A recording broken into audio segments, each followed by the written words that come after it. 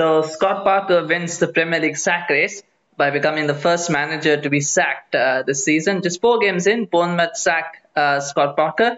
It's a it's a sad decision because I mean Scott Parker did really well to take them up to from the Championship to the Premier League, and I mean he's lost to Arsenal, City, and Liverpool. It's not like he's lost to Brentford or, or teams like that. So it's a it's a knee jerk reaction. I think it's an egotistical reaction because he actually called uh, the you know the management out for not giving him more players.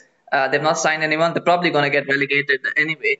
Um, so I think this is more of an egotistical thing of saying, well, you know, the artist you're, you're kind of disagreeing with our decision on, on transfers, so uh, here you can leave. So I think that's what it is. Um, it's sad, but I don't think it's going to change much. I think Bournemouth is still going to get relegated, but maybe we'll see Sean Dyche back in the Premier League. Anyway, let me know your thoughts uh, on this uh, decision, and uh, thank you for watching.